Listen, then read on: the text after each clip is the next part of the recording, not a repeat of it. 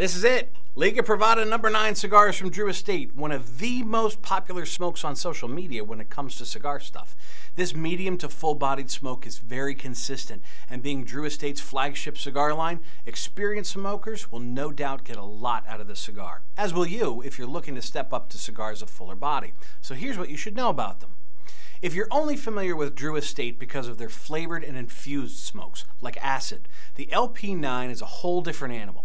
Seven farms contribute tobacco to the mix, including Brazilian Mata Fina binder, very high grade filler varieties from Nicaraguan, Honduran, and Dominican seed, plus a super oily broadleaf wrapper. You might see it as a Maduro, but this wrapper is really a solid Oscuro, which is aged longer for even more natural sweetness and richer flavors. Then the finished product is aged for a whole nother year before it's shipped out of Nicaragua. As I said, it's medium full, but medium strong might be a more appropriate description, and still very consistent. The Liga blends are peppery yet sweet and creamy. Try to imagine smoking a juicy pepper rub porterhouse steak like that. And those mellow flavors, they build the longer you smoke it, which is why so many Liga fans burn these number nines right down to the nub. The strength grows too, giving a satisfying finish.